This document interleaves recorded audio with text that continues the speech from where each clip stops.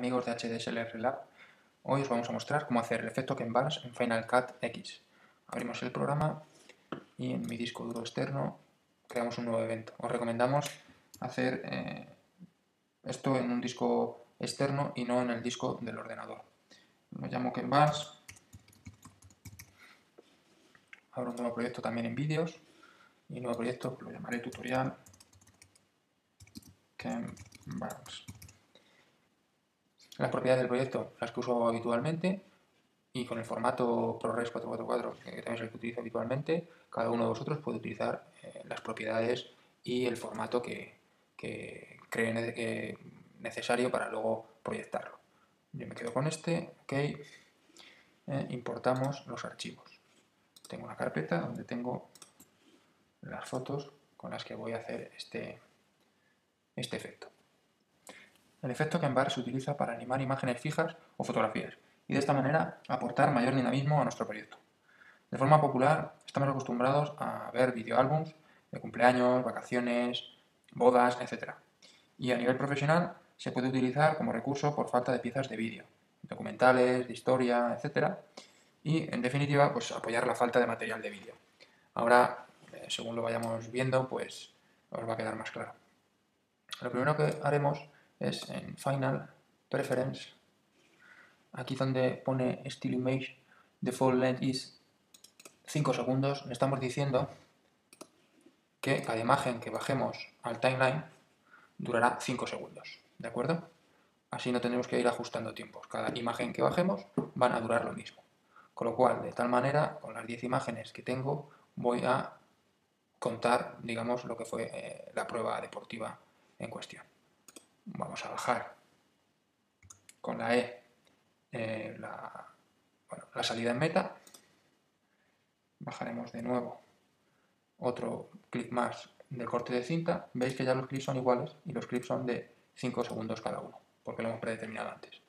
Bien, la salida y el ambiente de salida, todo lo bajamos con E, ¿eh? ¿de acuerdo? Bajamos con la tecla E y, y no nos solapa al anterior clip, sin dejar ningún hueco entre ellos clip durante la prueba, otro de paisaje, eh, este otro por ejemplo, eh, ponemos esta otra, que es el habituamiento, otra sobre el recorrido y finalmente la llegada a meta. Bueno, con esto más o menos podemos contar la historia. Vamos a meter una transición, una normal. Cross Dissolve lo vamos a meter para que entre cada fotografía y fotografía no haya un salto, ¿de acuerdo? Haya una pequeña disolución. Pues cada uno, cada... Bueno, esto es un poco laborioso, pero tampoco llega, lleva mucha cosa. Cada uno dura un segundo, que lo tenemos predeterminado también. Eso se puede cambiar, pero bueno, un segundo es suficiente. Hasta aquí no hemos descubierto nada nuevo, ¿vale? Porque todavía el efecto Canvas no lo hemos hecho. Nuestro vídeo pues sería algo así. Empezaría ahí, ahí tenemos la transición, otra foto, otra transición, y así va pasando el vídeo, otra transición, poco a poco. Si le queremos dar un dinamismo, como os había explicado antes, pues nos vamos a ir a la foto, nos metemos en esta crucecita de aquí, lo vemos aquí, y arriba pone Bars. El marco verde es el start y donde comenzará la animación y el rojo es donde finaliza.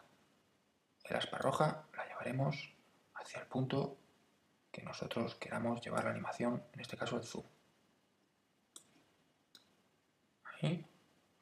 Vamos a procurar, si las imágenes no tienen mucha calidad, no ampliar mucho la foto.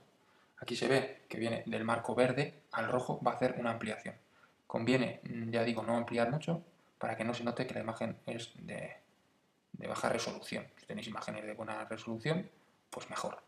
¿Vale? ajustamos ahí. Perfecto. ¿Vale? Y DOM. Vamos a ver un poco cómo sería. Ahí vemos cómo sería. Muy bien. Siguiente imagen, lo mismo. Le damos la herramienta de recorte marcamos Bars y Start lo abrimos. Aquí viene por defecto el end más grande que el stat. Pero nosotros lo ajustamos a la medida que queramos y cogiendo el ancho de imagen que queramos. En este caso lo que vamos a hacer es situarnos ahí y el marco rojo llevarlo hacia el dorsal que se vea que el ciclista en cuestión es Scartin. Aquí vamos a ver cómo la imagen se va a ampliar mucho y perderá definición. Down y vemos a ver qué tal el efecto. Ahí está. Y ahí está.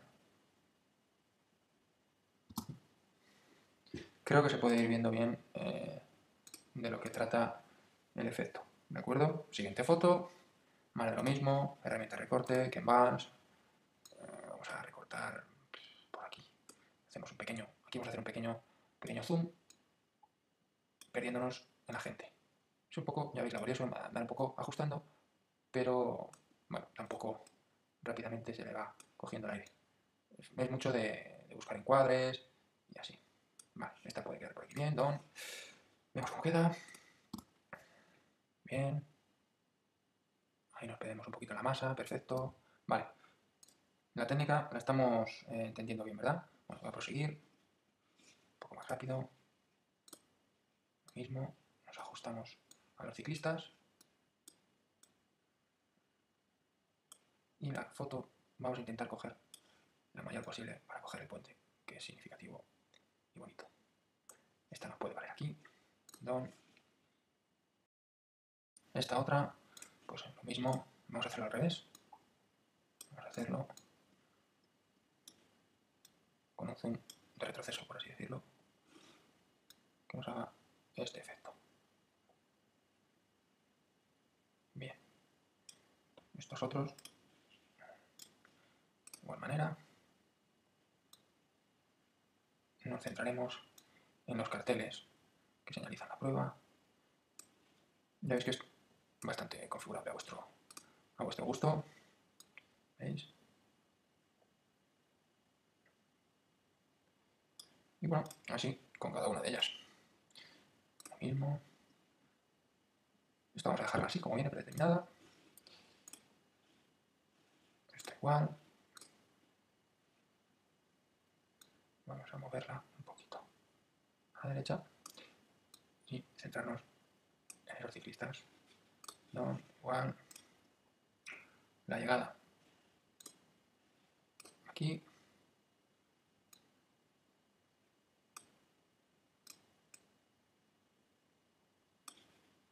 Bien, ajustamos.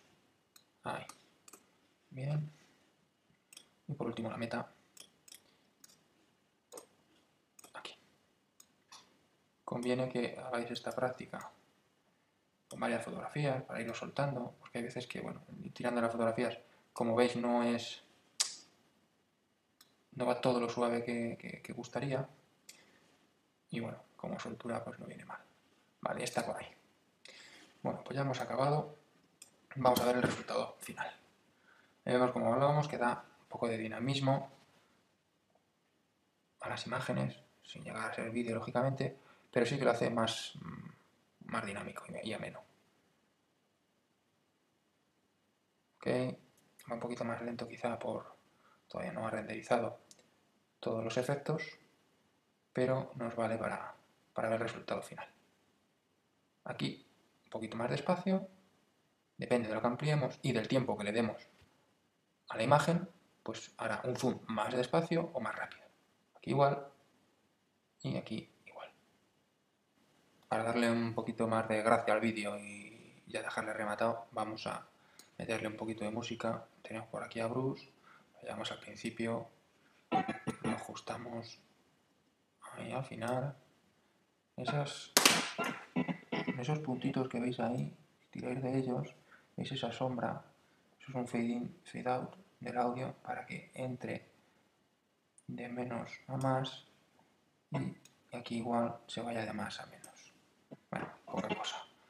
Vamos a ver el resultado final del vídeo y ya con la música, pues ya es otra cosa.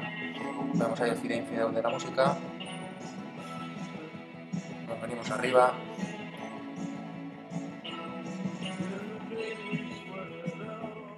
Y ya es otra cosa. Si veis a veces que va con un poco de tirones es porque todavía no está renderizado. Una vez que lo exportemos mmm, va de una manera mucho más fluida. Y nada más. Espero que este tutorial os haya gustado, que le podéis sacar provecho. Y nada, nos despedimos con, con Bruce de fondo y hasta, hasta un próximo tutorial. Muchas gracias y hasta la próxima.